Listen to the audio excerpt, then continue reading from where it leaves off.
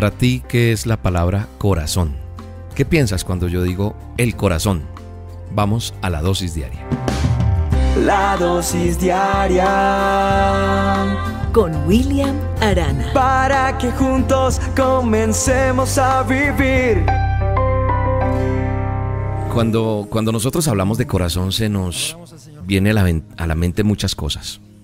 Por ejemplo, ahorita que te pregunté, no sé qué pensaste. A lo mejor el que está como con dolor del corazón en estos días puede decir, uy, tengo que ir a mandarme a chequear porque he sentido como que el corazón muy acelerado, me ha dolido. Otros dicen, ay, tengo el corazón partido, como dijo Alejandro Sánchez. Eh, no sé, puedes pensar en muchas cosas, en amor, en una relación sentimental, puedes pensar en un fracaso. Pero yo creo que nosotros la mayoría de veces no relacionamos al corazón con algo espiritual. ¿Por qué? Porque tal vez tú o yo, porque me incluyo con todo respeto, nos preocupamos mucho por por vernos bien, por la forma de vestir, por cómo me peino, por mi cabello, por, por la fragancia que debo comprar, por los zapatos, la marca tal vez, algunos, algunos otros no con eh, el último teléfono que salió.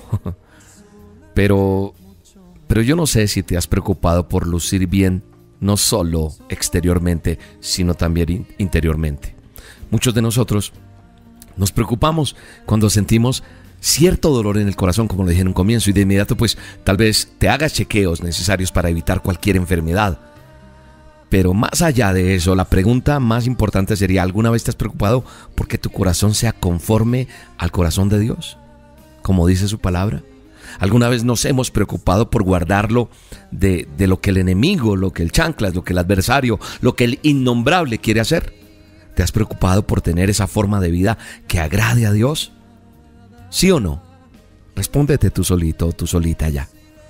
El corazón es como, en términos bíblicos, o en términos espirituales, es el centro, el centro de la vida de una persona. Es donde, donde la palabra, eh, donde se, activa todo lo del ser humano, donde está incluido todos sus, sus elementos racionales, emocionales. Es como, como, como la matriz, donde está todo. Entonces por eso el corazón se usa como, como de esa manera figurada para, para hablar de las corrientes escondidas de cada uno de nosotros. Y la Biblia habla de muchas cosas del corazón. ¿Por qué? Porque el pecado está allí en el centro de vida de cada uno de nosotros. Es decir, ¿qué hay en tu corazón? Es lo que uno dice. Pero si vamos a mirar, no es exactamente el corazón, sino es en el centro de tu vida. ¿Qué es lo que guía tu vida? Entonces nosotros tenemos que entender que necesitamos un corazón limpio. No alguien que señale tu corazón. Yo no puedo hacerlo. El único juez justo que podría llamarme a cuenta sobre mi corazón es Jesús de Nazaret.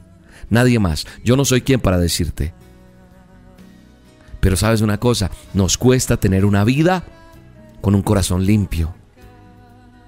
Pero cuando está y cuando hemos dejado que Él lo limpie, que haya un proceso en mi vida, pasan cosas bien bonitos. Es por eso que nosotros tenemos que entender que, que ese análisis de corazón es el que va a determinar muchas cosas. Si realmente quieres hacerlo, yo te invito a que empieces a trabajar en un corazón limpio. William, ¿qué es una, una persona con un corazón limpio? No va a tener rencor, una persona con un corazón limpio, ya no hay odio, ya no hay resentimiento. Ha dejado fuera de esa persona todo sentimiento negativo y entonces usted dirá, ah, no, no, tal persona no lo puede hacer, esa persona es así, punto. No, uno puede cambiar, si supieras cómo era yo. El rencor te hace daño, el odio, el resentimiento. Pero cuando está limpio el corazón, cuando he dejado que Él venga, el Todopoderoso, y cambie, quien me diseñó a mí, mi arquitecto, mi creador, Él cambia mi corazón.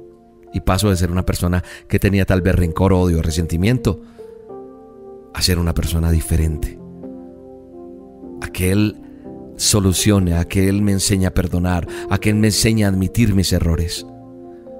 Una persona de corazón limpia alaba y glorifica el nombre de Dios. Una persona de corazón limpio se goza alabando a Dios. No emocionalmente por un día, Ay, es que hoy estoy feliz porque en las buenas, en las malas, en las regulares, en las victoriosas, en toda, en toda ocasión alaba y glorifica al Señor. Es una persona que es buena con los demás. Es una persona que da testimonio y entonces cuando da testimonio el otro que, que, te ve sin estar echándole cantaleta y arrepiéntase y que la Biblia... No, eso no sirve. No, con mi calidad y estilo de vida, alguien se va a acercar a decirme, oye, yo quiero de lo que tú tienes.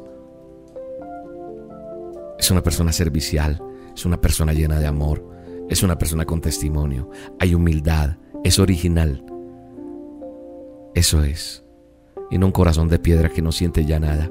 Pero si hoy tú dices, William, sabes que yo no siento nada, o yo no sé de qué está hablando él, o mi corazón es duro, pues en el nombre poderoso de Jesús es momento de volver a aquel que transforma la vida, aquel que hizo que tu corazón fuera un corazón sencillo y sensible, pero en el tiempo se te fue endureciendo por muchas cosas. Creo que hoy es momento de perdonar, pero sobre todo de perdonarte tú mismo. Es momento que ahí donde estés, oyendo esta dosis, rindas tu corazón herido, maltratado, pisoteado, y que hables con el único que te comprende. Ni siquiera soy yo, ¿sabes? Es Dios. Él es el que te comprende realmente. Él es el que te ama. Con un amor eterno, no con el amor humano de hoy si te amo, mañana no, no con interés, con el único, el único que realmente se preocuparía por ti, se preocupa por ti, aquel que permitió que llegara esta dosis a tu vida. Aquel que en este momento te está diciendo, te amo. Eres importante para mí. Anhelo estar contigo, dice Dios Todopoderoso. Quiero que hablemos. Quiero que me busques en la noche, en la madrugada. Quiero escucharte buscarme. Quiero verte sonreír.